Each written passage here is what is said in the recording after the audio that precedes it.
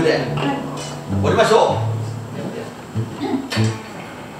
う。いいですか、はい、ワンツースリーフォー。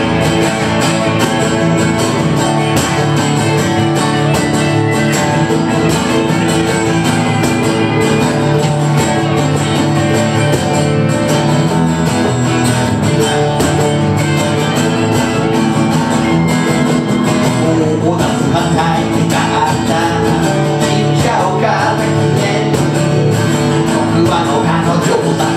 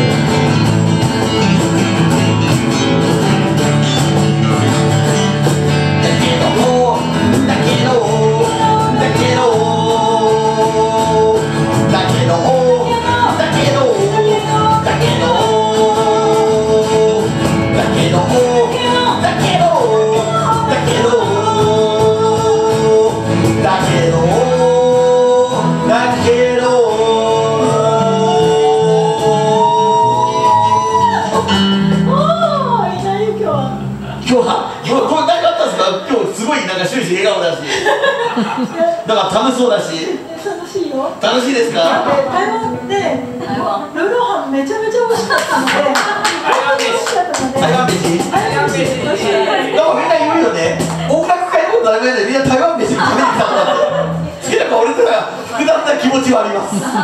もちろん台湾飯も大事だけどみたいな。美味しかったのでええ。コステラも美味しかったのでねいやあの台湾飯ともう一人楽しいことはミモリミモリズなんか言わせてとい。うことで、クレッシュも迫っておりますので、はい。あのクレッシュ仕様にもうシャッター閉められ始めましたからね。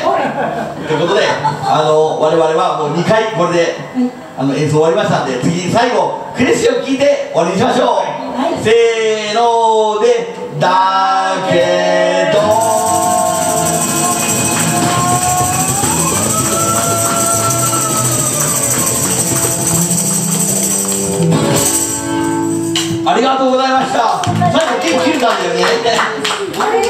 紹介したいと思います。今日はなんかね、縦にギター2人というね、なあ、俺何 ?3 人影のように。一番若い子一番後ろにしたの。男がなら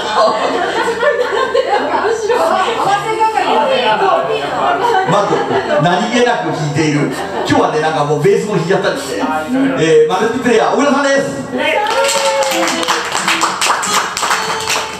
そしてもう年齢が言えるというのはいいね。22歳。まだまだまだ伸びる。うちらはもう天候から落ちるだけ。まだまだ伸びる。佐藤拓人君です。そして今日はどうしたんですかデパートガールさん。楽しいのでね。えー、あのでまたデパートに戻るんですか？もうもう戻ろうか今デパートないですよ。昔いっぱいあったのにねねでも楽しかったのでねちょっとはしゃいでしまいました。今日ねウクレレで頑張るっつったらねなんかね小池さんの演奏みたいなねなんか絶句してたっけ？よかったですよね。えー、なんか弟子入りするとかしないとか。しないですか1年ぐらいはもうボカルいらないミモリいらないということで。ないですか？えー、えー、ウクレレプレイヤーの高橋さんですそしてこちらの方はもうあのミキサーから何気なくあのパーカッションの、ね、なんかいろいろやってと本業は本業カメラですよね。そうそうまあ芸術関係全般ということでね、えー、音と映像ならこの人にお任せされたふむさんです。今日ちなみにあれ新車お披露目ですよね。あ車は後でお披露目。車全然知らないですよもう知らなきゃ新車なんですから。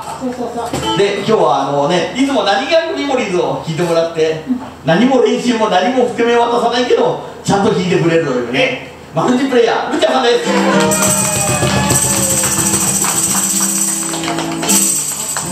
そして日本一のマシンガー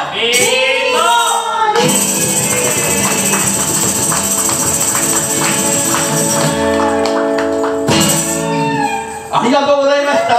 長丁場ですけどあと一組クリシを残すのみとなりました。ぜひ最後まで聴いててください。どうもありがとうございました。